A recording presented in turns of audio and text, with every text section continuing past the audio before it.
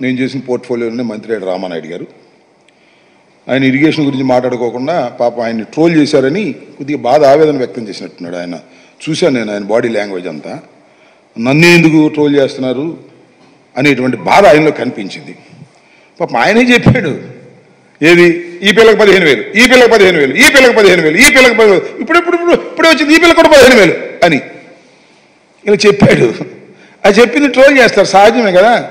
మంచి అయినా అంతే చెడైనా అంతే. నన్ను ట్రోల్ చేయట్లే మీరు? చేస్తారు. చేసుకోండి. మాకేం అభ్యంతరం లేదు. ట్రోల్ చేసినందుకు పాపం బాధ ఆవేదన పడ్డాడు పాపం. ఆ ట్రోలింగ్కు సమాధానం చెప్పడానికి వచ్చినట్టుగా ఉన్నాడు తప్ప అసలు విషయం చెప్పలా.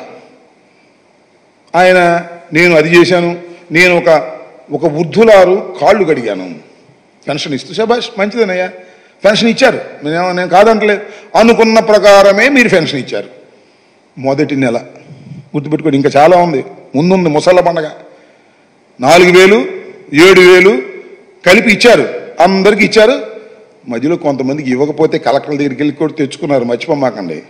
ఆ ఊళ్ళో గ్రామస్తులు ఇవ్వాలా. ఏ వీళ్ళు ఇవ్వడానికి లేదు. తెలుగుదేశం వీళ్ళు కాదు వీళ్ళు. వైసీపీ ఇవ్వడానికి వీల్లేదంటే నేను ఎక్కడో చూసే పల్నాడులో సిపిఎం వాళ్ళ మీద తిరగబడ్డారండి. సిపిఎం వాళ్ళ మీద. అవి కూడా మీరు సక్రమంగా ఇవ్వలేదు బ్రదర్. రామానాయుడు అవి కూడా సక్రమంగా ఇవ్వలా. మొత్తానికి ఇచ్చారు. మామ అనిపించారు. ఓకే. ఇచ్చినాడి గురించి కాదయ్యా.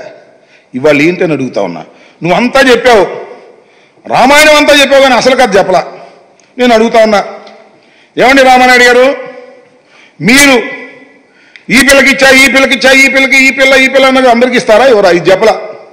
మాకు విధి విధానాలు ఇంకా కుదరలేదు. విధి విధానాలు ఇంకా నిర్ణయిస్తాం. అప్పుడు చూస్తాం అప్పుడు ఇస్తాం అనే పద్ధతిలో ఏదో మర్మ మర్మగర్భంగా మాట్లాడారు. అది కాదు కావాల్సింది. మీరు you have issued a GO.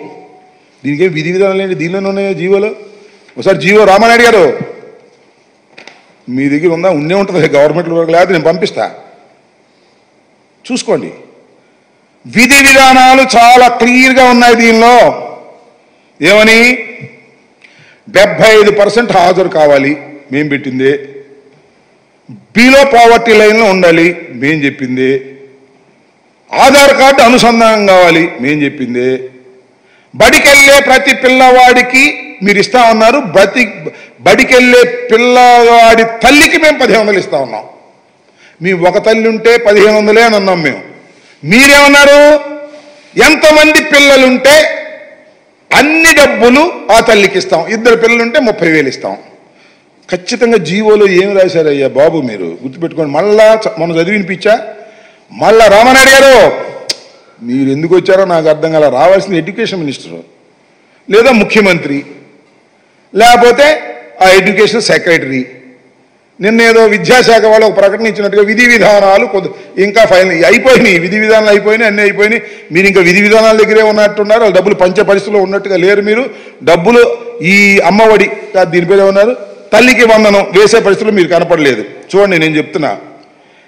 As a part of government assured flagship program, the government under Talliki Vandanam scheme is providing financial assistance of rupees 15,000 for annum to each mother or recognized guardian who is below poverty line household and sending their children to schools, colleges, that is from class first to seventh.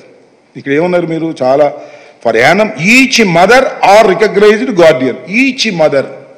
అంటే ప్రతి తల్లికి పదిహేను వందలని చాలా క్లియర్గా ఇచ్చారు. దీన్ని సరి చేస్తారా? అది చెప్పడం. విధి విధానాలు కంప్లీట్ కాలేదండి. తూచి తూచి తూచి. వేగాల చెప్పి వెళ్ళిపోయి తప్పుకుపోయేటటువంటి ప్రయత్నం చేస్తున్నారు. మీరు ఇప్పటికైనా స్పష్టంగా రామానాయుడు గారు గారు చెప్పవలసింది. చెబితే చెప్పనే పోను మాకు అభ్యంతరం లేదు.